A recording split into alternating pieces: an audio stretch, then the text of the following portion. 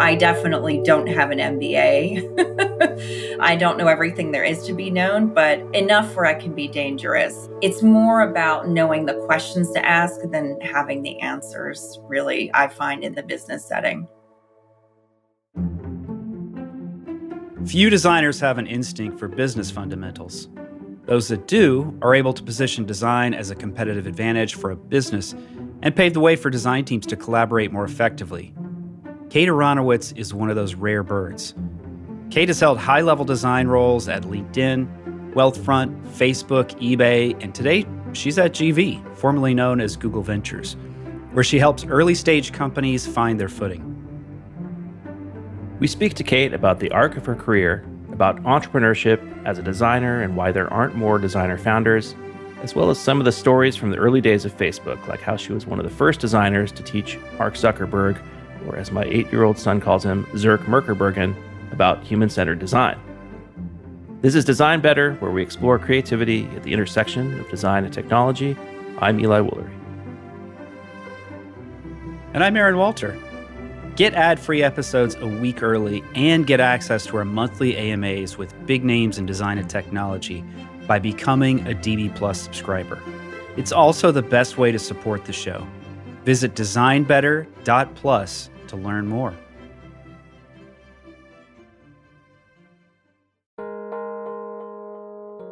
We'll return to the conversation after this quick break.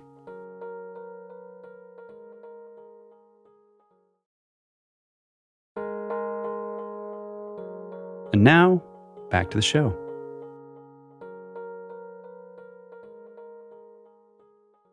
Kate Aronowitz, so great to have you on the show. Thanks for having me. Kate, we've been wanting to chat with you for quite a while. You've got an interesting career path, and maybe that's the right place to start. You've led teams at kind of smaller scale and then larger scale, and these days you're at Google Ventures. So, could you give us the nickel tour through your entry into design and your career? Like maybe starting with when you were a kid, were you into design? Yes, very much so. It started, I don't know if you remember, there was a toy called Fashion Plates in the 70s and 80s. I was very into fashion design. I would sit in front of the TV in the afternoon and just draw whatever I saw. It was a lot of Little House on the Prairie dresses and Madonna dresses from videos, uh, much to my parents' chagrin. fashion was really what I was interested in. My parents always took me to lots of art museums, lots of art books, things like that. And it remained an interest of mine. Then through high school, did some fine art had never really considered I could have a career in design. It was not something that was pushed on me or encouraged. Started college at Syracuse University with the idea that I could study political science and fashion somehow. And, uh, you know, so the further I got into fashion, I loved it, but I quickly realized it was not something I wanted to do professionally. It was a hobby. I wanted to be inspired, make what I wanted to, and then kind of leave. I didn't want to do a lot of the assignments decided I did want to pursue design a little bit more, but wasn't sure what fashion, you know, which field of design I would end up in. And I had never heard of the Savannah College of Art and Design. Happened to be visiting a friend in Atlanta. They said, You've got to go check out this school. I went down, I visited SCAD. I feel like within 15 minutes of being in that city, I knew that's exactly where I was going to land. It's funny, high school, I worked so hard to think about exactly where I was going to go to school. I ended up at a college I'd never heard of. The city was beautiful, the people, it's just an amazing place. And to think that I could go study design in a setting like that was just fantastic. So, got to SCAD. The fashion department was like one room in this random building and started to get just concerned that I wasn't going to have much of a career there. And they had computer labs on campus in the graphic design program. And I was like, I'll go check that out. And there was something around the intersection of aesthetics, problem solving, and precision that I loved in graphic design. I love the precisionness of it. And I love just problem solving. Just it felt right. So ended up at SCAD, finished my degree there. And then I really went on and got a traditional graphic design job. My first one was at a vitamin company. It was supplements. I was doing labels. And then I made my way over to an agency where it was a lot of brand design, I even got to design the livery for an airplane and go to air shows in Europe. Again, very traditional graphic design. But there was something that kind of clicked at the agency where I just became much more aware of who I was designing for. I really loved meeting with the clients. I liked sitting at my laptop and designing, but I really loved meeting with the clients. I loved asking business questions, and I really loved figuring out how design could solve business questions. That was a really key awakening for me. It wasn't just about the pixels anymore. It was like, what was the problem I was solving and who was I solving it for? And then I, I moved to California to be with my then boyfriend, but now husband and tech was the rage. There was no UX degree at the time. I'd never built a website, had no tech experience at all, no web design experience, and got a job at eBay. They happened to be hiring a print designer, I think probably the only one they've ever hired to do sales collateral for the sales team. And I was like, I need to work. Sure, I'll go do that. And while at eBay, they were just kind of forming this UX discipline. They were putting in place UX research. We had visual design, interaction design, content strategy, which I'd never heard of. And this was back in 2000. So, really, my first exposure to a cross functional UX team. And that just clicked. I found my home.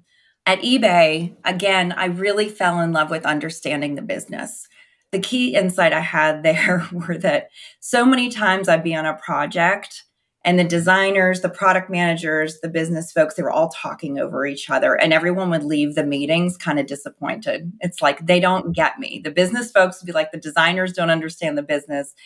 And the design team was like, they don't understand me. We're not going to get anywhere. And I found myself going and hanging out more at the time it was the guys in blue shirts and khakis over in this other building like show me your metrics. What are we trying to do? What customers are we trying to hit? And i became kind of the translator and the broker between the design and business teams and i loved doing that. And that just became the place where i felt like i had superpowers where sometimes others weren't that interested. That's fascinating. Almost nobody has that. People don't really figure that stuff out easily. Most designers are on the other side, kind of like in the corner doing their creative thing, but not really understanding how to interact with the rest of the business, often not even knowing how the business works. What do you think about who you are as a person kind of gave you that ability to translate those two different worlds? Yeah, and I don't know if it's why I ended up in UX design. I love observing people. If I'm in a meeting, I will be listening to what's going on, but I love looking around the room. Who's getting what we're saying? Who's interested in working together?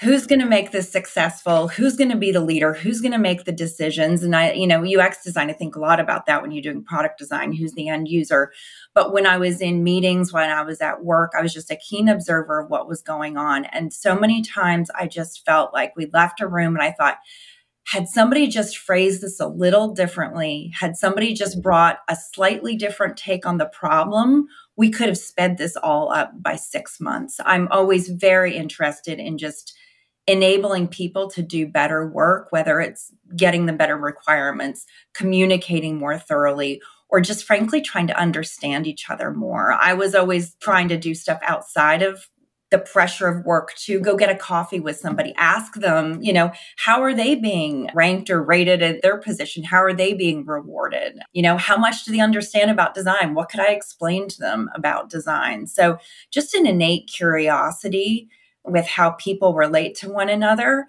and spotting those moments, those aha moments where somebody gets the right information or people unlock an understanding about each other and then like success just like clicks in. I love those moments and I'm constantly looking for them, which is why I think at eBay, I was drawn to managing and running a team. We've all had those moments. Jobs are great, but man, working for the right person, it just unlocks everything you learn more, your work is better, you're engaged more, and you can, I feel like you make years of progress sometimes just by having the right manager. You know, they expose you to the right things, they give you the right feedback. They see their success as their team's success, not their own. Who was that person for you? This woman named Nancy Dickinson, actually, at eBay. Can you share any stories in particular where it's like you sort of arrived at that insight? she set things up for her team to be successful. She was a bit of a stickler about role descriptions. She was a bit of a stickler around requirements. She always wanted to make sure everybody's role was really understood in the room. And she really emphasized that great design, you know, at the time, which is what we were doing, it was truly a team sport. I first got my, you know, intro. I didn't know what a content strategist did. You know, she started the content strategy team where she was instrumental in that. I thought, oh my God, wow, writing is just as important as the visuals. She set up an environment of collaboration. And she also, I think, saw things in me that I didn't see in myself Kate, you're ready to run a team, or Kate, you're ready to lead a project, or Kate, you're ready to be the one to write the presentation and give it to the executive team. She always was ready to just give me the right amount of opportunity where it stretched me a bit and made me a little nervous, but she also knew that I was going to succeed. I learned a ton from her about business and design, but also just how to like unlock talents in other people and give them the right opportunity at the right time. Kate, I think there's a lot of things to dig into on the leadership front, but I just want to go back for a second to the business side of things. And it sounded like even in your agency days, you were interested in business. Did you have any kind of formal training, or was it just like reading books and absorbing things through your environment? How did you go about learning about those topics? Yeah, none whatsoever, no training whatsoever. At one point, when I was at this was the early 2000s, where designers were going and getting their MBAs, I was very tempted. I thought, this is the time I can have even more impact. But I had my son at the time. I was like, it was not the right time. I did a combination of things. I still to this day I keep a Moleskine, and if I hear a term or a word I don't know, I'm constantly writing those things down. I try to be confident and just ask in the moment, "Hey guys, can we pause for a moment? I don't actually understand what's being said, or can you go back to that term?" And you know when you do that and you're worried, and then all of a sudden you realize no one else in the room understood yeah. it either. Totally. so always keeping track of things that I didn't know and going and either looking them up, uh, you know, online or again just you know i'll ping somebody after a meeting and say hey what you were talking about was really interesting. Would you mind if i got a coffee? Maybe you can share a little bit more with me. Our first principle at ebay are people are basically good. But you, you know you find like if you show like real curiosity for what somebody's up to and show that you have common interests in being successful together they'll usually help you. And then i've also had just close friends who i met really through work over the years who are on the business side who I've been able to call at any time and say, you know, what book should I read? Or I'm going into a board meeting, they're going to look at these numbers, give me the basics, like what's a P&L? What's this? Like how do you read this? How do you put things together? It's been helpful. I definitely don't have an MBA. I don't know everything there is to be known, but enough where I can be dangerous. It's more about knowing the questions to ask than having the answers, really, I find in the business setting.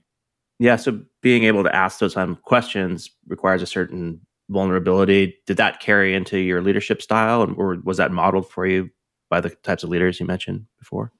I definitely try to model it. I was just offsite with my team this week, and I'm always trying to model if I'm unsure of something, I don't know something, or if somebody on my team knows it better, man, I push them right to the forward. Strangely enough, the person that gave me the most confidence to do this was I remember starting at Facebook and going into a big meeting with Mark Zuckerberg.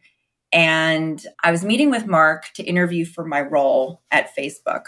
And I said, How human centric or how user centric would you say Facebook is?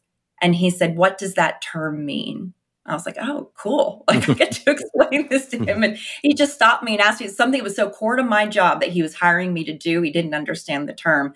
And I found that he always did that in meetings, whether it was a meeting with other executives or a small group meeting. He'd say, Do you mind if we stop for a moment? I don't actually understand that term. Or how can we phrase that differently? Or what are we talking about? What are we trying to learn again? Facebook, for as intense of an environment as it was, in most settings, it was a pretty safe place to ask questions. And really, Mark modeled that from the top. Yeah, that's fascinating and unexpected. I guess I wouldn't have expected that from an executive, but maybe in particular Mark Zuckerberg, but yeah, yeah, but great, you know, great leaders are curious, and and he certainly has a learner's mindset. I mean, now if you look at like what he's doing, like MMA fighting, I mean, yeah, too. yeah, start from scratch on that one. One year I was there, he was learning Chinese. I mean, you know, and invited Chinese employees to come in and talk with him, and he didn't really know it very well. So, being in a setting with that learning mindset is key. I'm really curious, you know, as someone who was so passionate and focused on design in your youth and kind of exploring your way into it, but you've got this other breadth of interest that you remained open to and connected with. As you started to step up in the ranks because you were curious, because you were asking the right questions, and you care about other people's perspectives, those are all really important traits for a strong leader in that transition into leadership, was that a comfortable thing for you, or did you feel like you were missing some of the hands on experience of being an individual contributor as a designer? all of those. You know, one of the things Nancy did for me at eBay, my first management role, I managed two people. So it was small, which was nice. And it was in an area that I knew really, really well. It was much more centered on visual and brand and marketing design, which is where I really started in UX my first couple years as a manager, I had to remind myself that my success was very different than just making something. My success was going to be the success of my team. How well did the people on my team do? And then also, while I was responsible for the quality of the work coming out of the team, I couldn't go back to my desk and do it. I always say, like, design management is like designing with your arms tied behind your back, which can be quite challenging. You know, it's like asking the right questions or giving people the right tools. Cause man, I mean, I still get that way. Like, I know I can just do this. Let me run back and make something myself. But also, I was quite motivated to be in management and to build teams. That became my design project, right? It was almost like Tetris.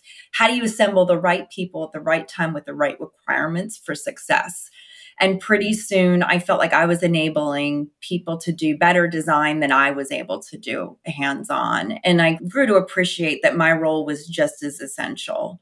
You know, when I talk to people now, when they think about going into management, it's like, it's a completely different role. And please don't add to the bad managers of this world by just doing it to either get more seniority or more power. We all know managers actually don't have more power. Your motivation has to be very, very different. You've got to be much more excited about helping others succeed. Yeah, we were just had a conversation with Vanessa Gennarelli, who wrote a book about dealing with change at work, and this topic came up. And curious how you sort of help people understand like that shift in role or experiment with it or try it out if they're just curious about it. What is your leadership style around kind of building people's career if they're curious about being a manager when I have career conversations with people, it's much less what do you want to do? I find most people don't actually have something in mind. I mean, some people do, certainly. I want to be an entrepreneur, I want to run the company, I want to do something. But most designers, it's not that linear. And so I usually walk through an exercise with them. I have all these questions I ask that really tries to figure out where do they naturally go to? You know, people naturally spend time in their areas of strength what are you gravitated towards? Are you gravitated to the beginning of a project? Is it the end of the project? Is it that quiet make time by yourself?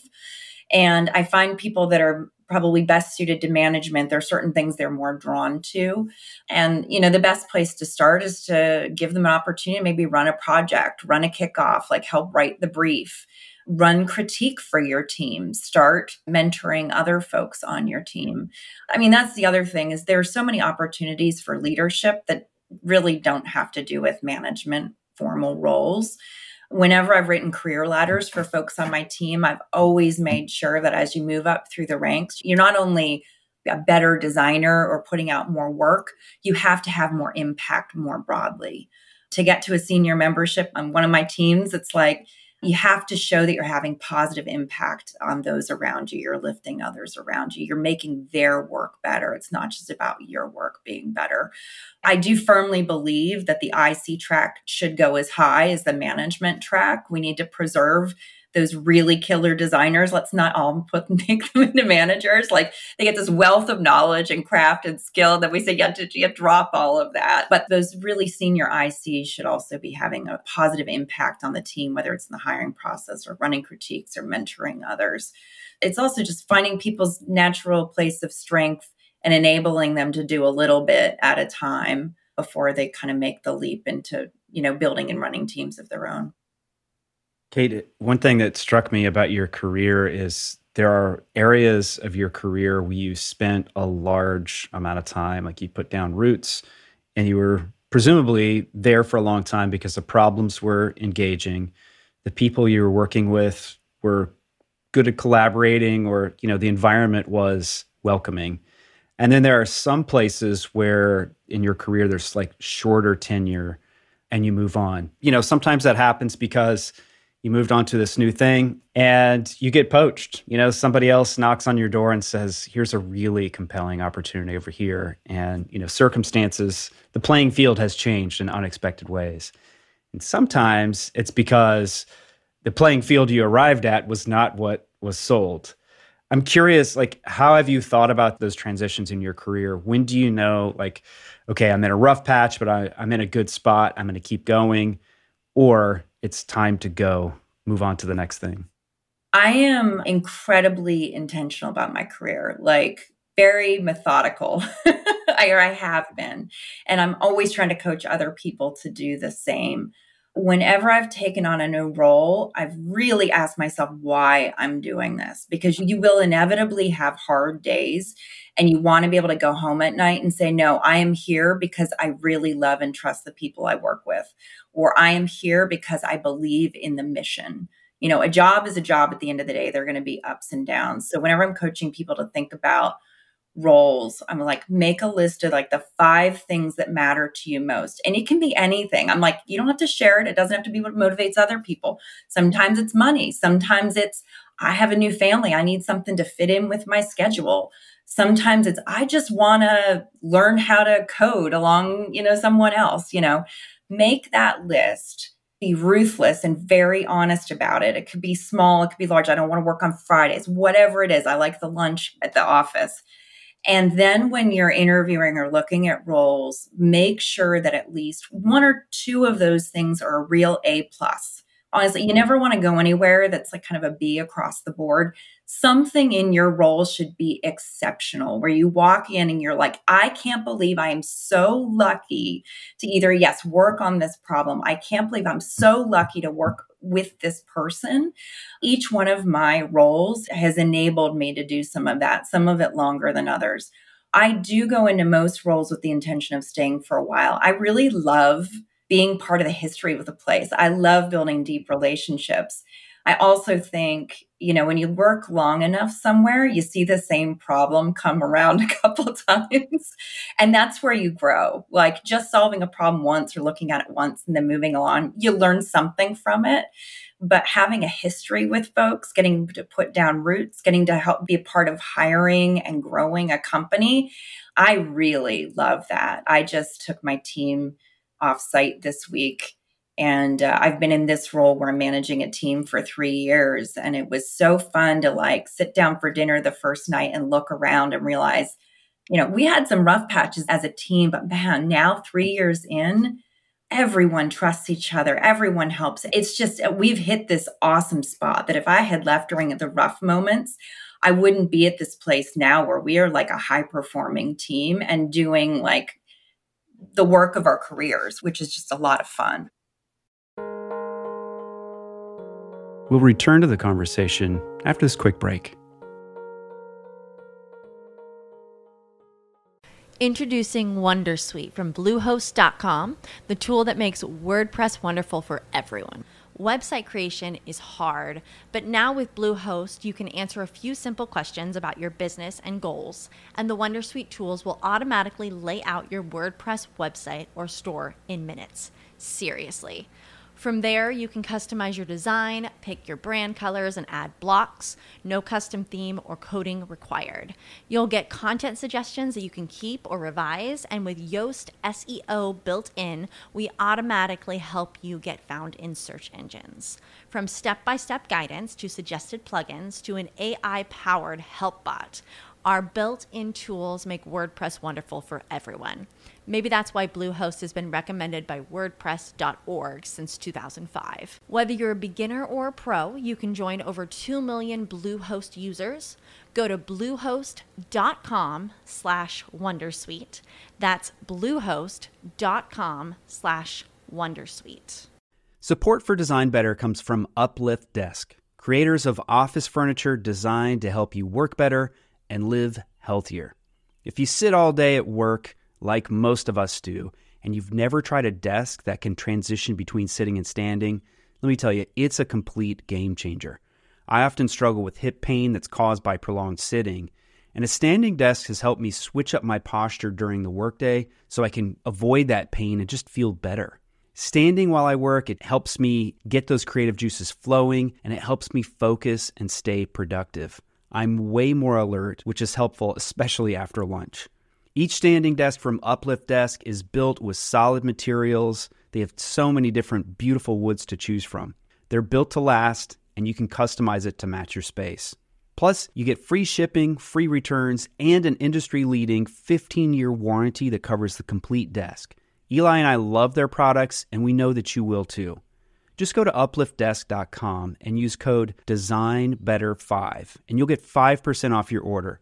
That's up liftdesk.com to get 5% off your entire order with promo code DesignBetter5. Check them out. And now, back to the show.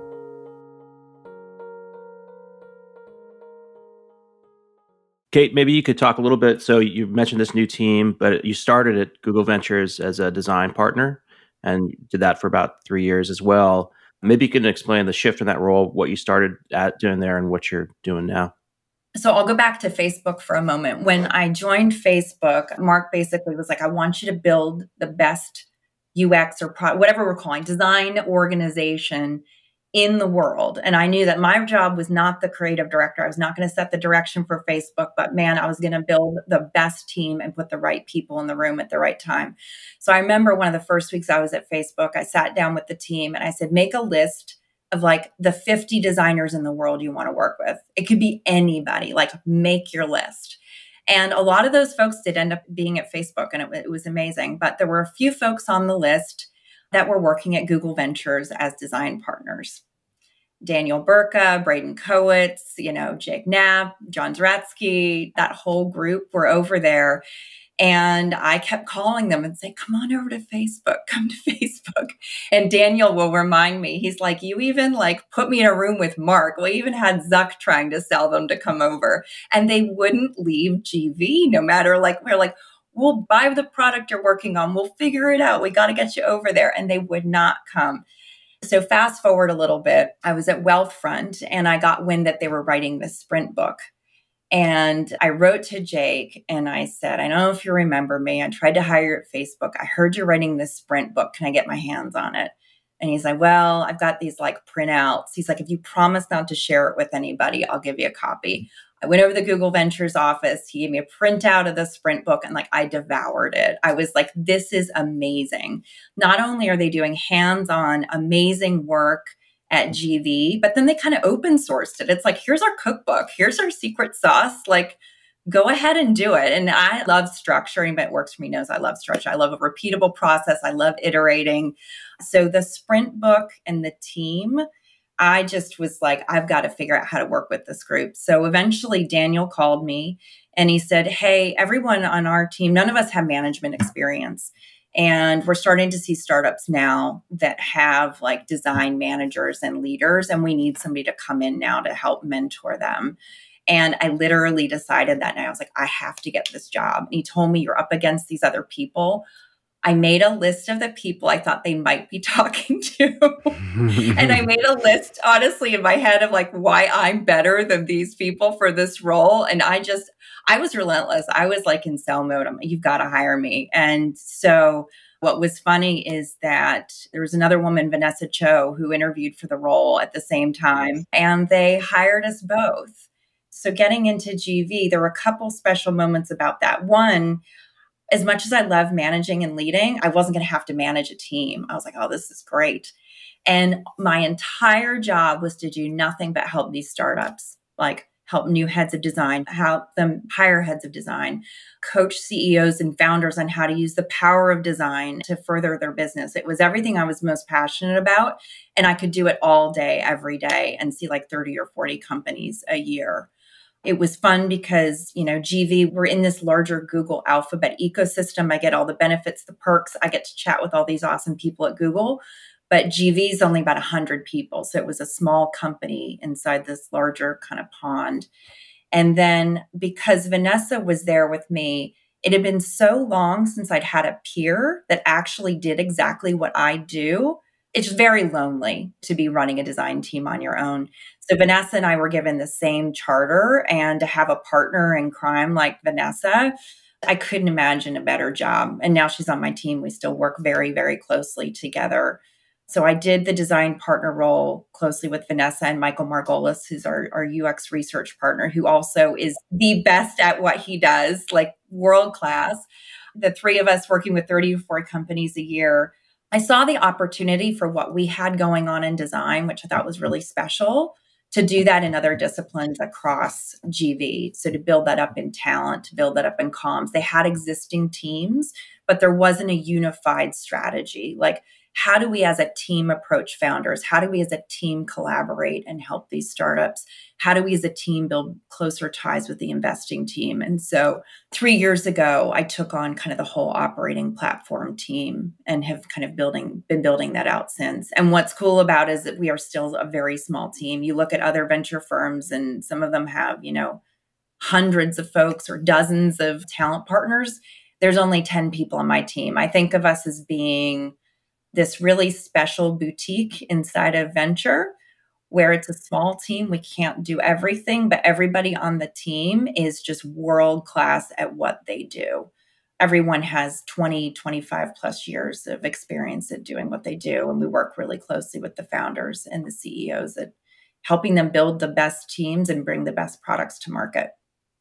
Are people receptive of your guidance, you know, when your team goes in? Because that's one of the challenges is like you take venture capital funding and advice and connections, but it's still, you know, they're running the ship. It's their company and they can take the advice or they could choose like, hey, we're going in a different direction. And I could see that potentially being frustrating if you run into that too frequently. Are people receptive for the help? The way to make that easy is we usually only focus on the gigs where they do want our help. I mean, honestly, with 400 plus companies, we could easily, you know, get sucked into lots of different areas. My team really only gets engaged when the CEO or the founder is ready to play with us. So we engage always at the top. We also check in with the investor. Is this a company that's really worth engaging with right now? There are big companies that are getting to be super successful. No matter what we do, they're going to go on. They're going to be awesome. They're the all stars, right? And then unfortunately, there are other companies that probably are not headed for a great future. We have a fun time kind of finding those that are like just about to accelerate out and they're like the rising stars of the portfolio and with like matching with the right person on the talent team to get that next C level hire or matching them with Michael to do research on their next product, like we can accelerate their growth and their learning by like a couple years, I think, like in just a couple months. So we're usually working with CEOs that are really excited to have our help. And we usually make sure that we're the best people poised to help them as well. And we work on really high impact problems. In addition to that, we have open office hours every week. So anybody in the portfolio can call in to an hour. Maybe it's a designer that says, Hey, I did two designs. I just need a second and set eyes on this. Or CEO that's like, Hey, I'm in the final interview stretch of a couple candidates. Can you check in with me on one of the candidates or help sell? So we really have a balance of engagements. And the best ones are where everybody's really receptive and excited to work together. Kate, When we were talking earlier before we started recording, you mentioned that you know, there's not all that many designer founders out there. And years ago, I spent some time in the startup world. I had my own venture back startup, and I kind of noticed the same thing. There weren't a lot of designers out there who were starting companies. I'm curious if you have any insights into why that is, or why maybe an argument for or against having more designers, you know, be involved in starting companies. Yeah, I mean, I do have to say, you know, it goes up every year. You know, I was just talking or messaging with Ben and Enrique at a designer fund. And, you know, we've got venture fund money that is really focused on enabling designers to do great things. So I do see it more and more. I think it's a combination of things. You know, some of it is just imposter syndrome. Like I talked about not understanding business as a designer. It can be very intimidating. It's like, I've got an idea, but wow, I've never built a business before. And that can be quite intimidating I think that's probably the number one thing I would point to. And also, and I'm going to make a broad generalization here. Designers like being parts of teams and they also like enabling other ideas to come out. They don't always have to be kind of the center of the idea. Like I find, you know, much more likely that you'll find a product manager who wants to start a company because that's why they went to business school. Like they, you know, that's what they went to go do. But there are a lot of engineers who fit that same profile. True. They just want to do their own thing. And yet there are tons of engineering founders. Yeah. I wonder if it's because of the kind of problems they see. Like when I think about mm. like our enterprise founders, a lot of them are pretty technical.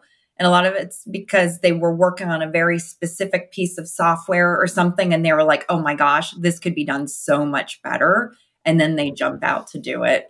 You know, same with like our health tech companies, right? We see physicians or folks that are in healthcare that spot an inefficiency and say, oh my gosh, I'm going to jump out and do a company where I think I can do this better. It may be the kinds of problems, it may still be a little bit of that imposter syndrome. I was talking to somebody the other day, and it's like design, at least when you're not in, you know, when you're in a design agency, that's your product. Everybody understands design, but design is one of those few roles that at least once a week you kind of have to explain why you're there. you have to explain to somebody, this is what I do this is why I'm here. This is how I can bring value to what we're doing. I mean, imagine having to go in and explain, like, you know, an engineer doesn't have to do that, right? So, and so when you have to do that over and over and over again, maybe it shoots a little bit of your confidence if you can go do something. Or maybe it gives you that extra boost of confidence, like, I'm done doing this. Like, I want to go work at a place where I don't have to do this anymore.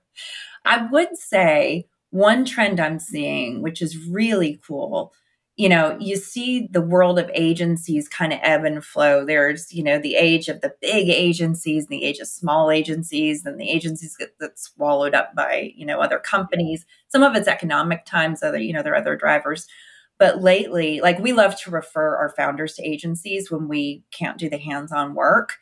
And it used to be, I feel like five, six years ago when I started at GV, it was a list of pretty large agencies. Now we've built relationships. There's all these like two and three people agencies that are pretty specialized.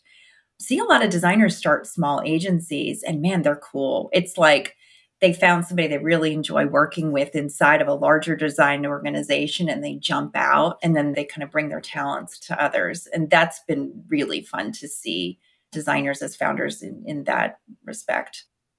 Kate, I'm curious why more venture capitalists haven't adopted the GV model, especially as high profile as you know the GV design team has been for a number of years. The publications, like everyone has the sprint book, everyone uses these methodologies that have come from GV. And certainly, as you said, like everybody you work with is very well known and very skilled at what they do, which gives all these companies that you're funding and supporting this unfair advantage, which is the phrase that's often used in the VC world. There's kind of dabbling of like, hey, we brought in a few creative people and they're making prints or they're giving a talk or something to that effect. But it's not the same sort of systematic, really focused business thinking approach that your team is doing at GV. Why isn't that happening at all the other big ones?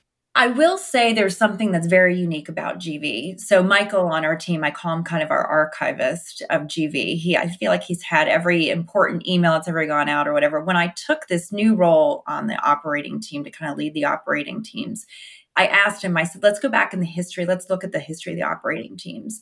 And he found the original letter or the email kind of announcing GV and the operating teams were in there. It was listed as our secret sauce. So we were in there from the very beginning, thought of as a differentiator.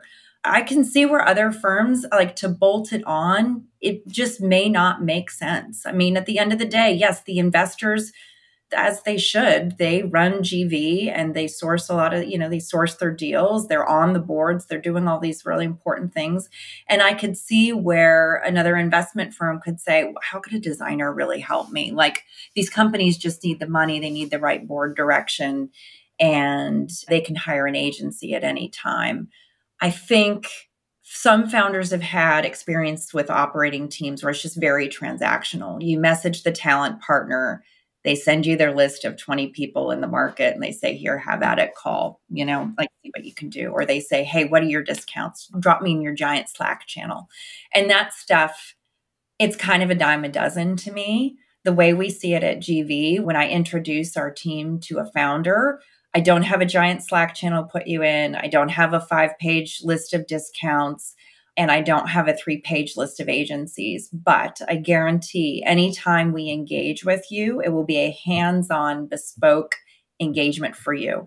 If I introduce you to an agency, it's because I probably talked to them last week and I know they're perfect for your gig. If you meet with the guy who leads talent on my team, he knows your area, he knows the right people to speak with, and he's going to spend time with you, not just feeding you people, but like really mm-hmm. understanding what's the mm-hmm. position of the role in your organization.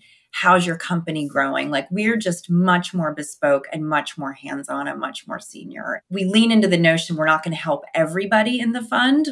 We certainly can't scale that, but we will work on really high impact problems. And again, it was baked in from the very beginning when the folks at Google started GV, they were like, okay, you know, there, there are funds everywhere. How is GV going to be different? And we were different in a few things. One, we were not a strategic investor, we were independent, which meant we weren't going around and hunting for startups to be bought by Google.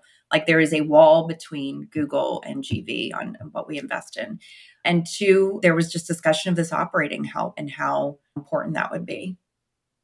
Let's actually shift for a little bit because I think you know, we've talked about leadership and things that you might look towards as you're a little more advanced in your career, but there's a fair number of folks in our audience who are younger and maybe just entering one of their first roles. We even have folks listening in high school, which is kind of cool.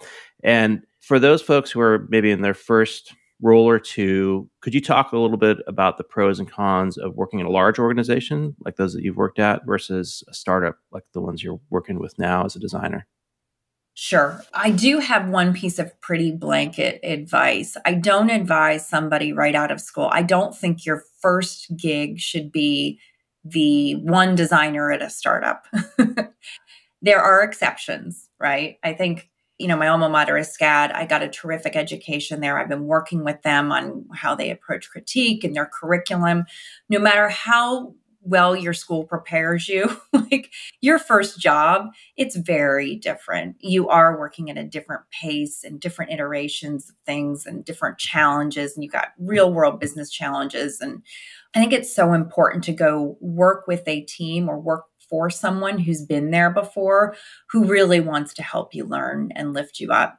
I can't imagine being my first job out of school and not having other designers to like critique my work with or to discuss a brief with or not to work for a design executive who's been doing it for a number of years who who knows where to push and pull me and and how to help me. So I would always say to start with at least a smaller team if not a larger organization. I think that there's real value in joining some of these larger companies.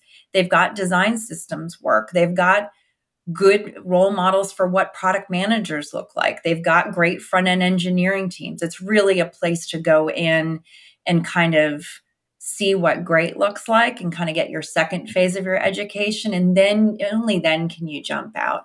I could have never gone to be the first head of design at linkedin had i not had this amazing experience at ebay really figuring out okay that's what a great pm looks like. This is how you ask business questions. That's what a great manager looks like. Oh that's a content strategist. You just don't know that stuff until you go in. So certainly there are pros and cons. A smaller company or smaller team you know, a lot of times you are the first person working on a problem, and that can be really interesting. Or you get more autonomy, you can try more hats on versus a larger organization. You know, you get more structure around you, but your role may be limited. But going back to taking my own career advice, just be really explicit, whether it's once every, you know, year or so. What is it that I'm looking for this year? And am I working around people, working on a mission, working in a place that really fulfills that? I do tell folks, you know, it kind of holds across the board, but especially if you're joining a startup, you've got to be passionate about the work, about the mission, about the problem you're solving. And you really want to work with great people. When it's a tiny team, man, you've got to really believe in the folks that you're working with. You have to be inspired by them. You all have to feel that you lift each other up as a group.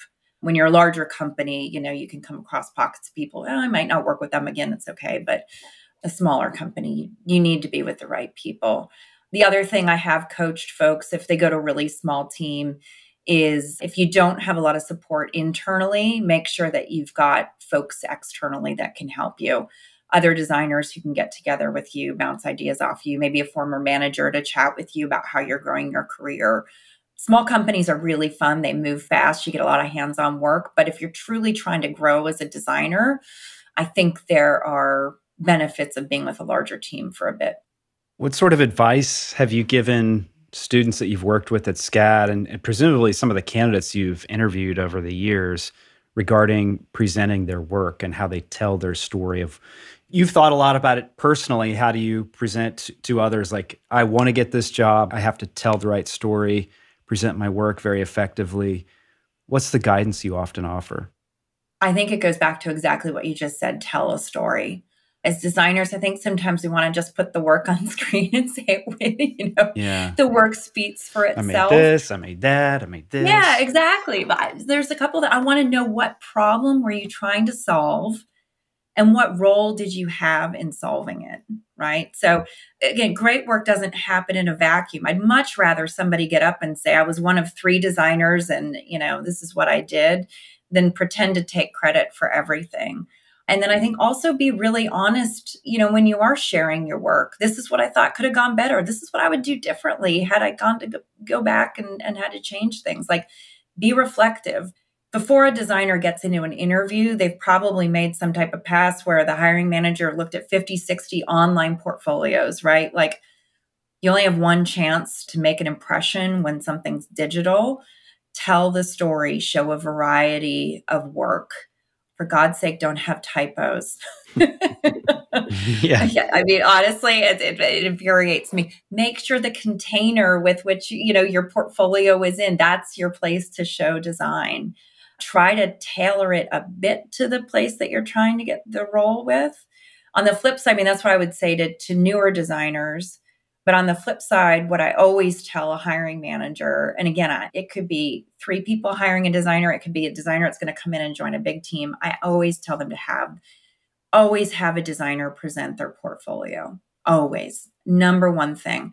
First thing of the day before they get into interviews, a designer should present their portfolio. And I, I tell them to give them very loose requirements. Tell the designer they've got 45 minutes. We want to see the work we also want to hear the stories on how the work was done, leave time for Q&A.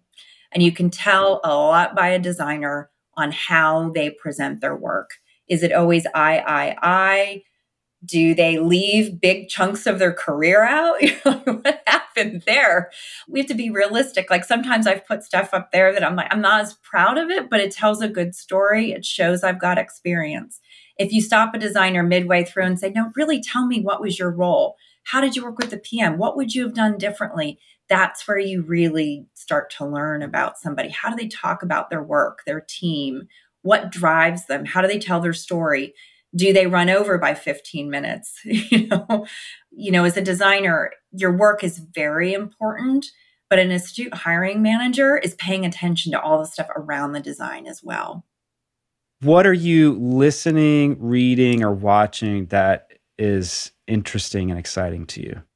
One of my favorite podcasts right now is this one called Acquired. Yeah. Mm-hmm. Where they tell the stories of how businesses were started. And the most recent one, it's funny, I'm telling everybody to listen to the Costco episode because I'm just endlessly fascinated with like how businesses were started and, and Costco. I, I actually recently I listened to the Costco one, Porsche, and Nike, and even Lockheed Martin hearing just about how founders had these early ideas and how they were principled and how they built out their companies and grew their brands. That's one I just find really inspiring right now. And then uh, I just read, I had a lot of beach reads over the summer.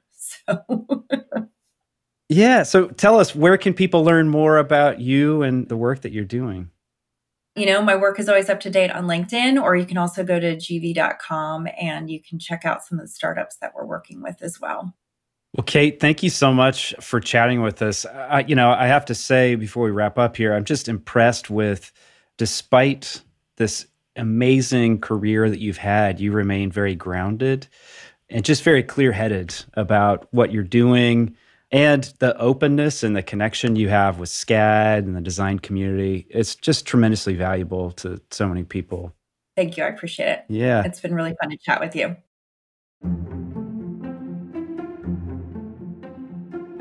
Have you seen the new MacBook Air? Oh man, they are so fast, they're super light, and they are beautiful. And we're giving one away to a lucky winner.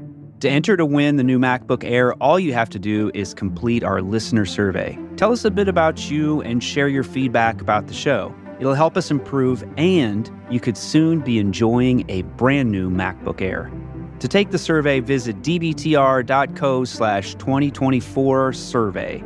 That's dbtr.co slash 2024 survey, and you'll automatically be entered to win. We'll randomly select a winner on Friday, March 1st, so be sure to complete the survey by then.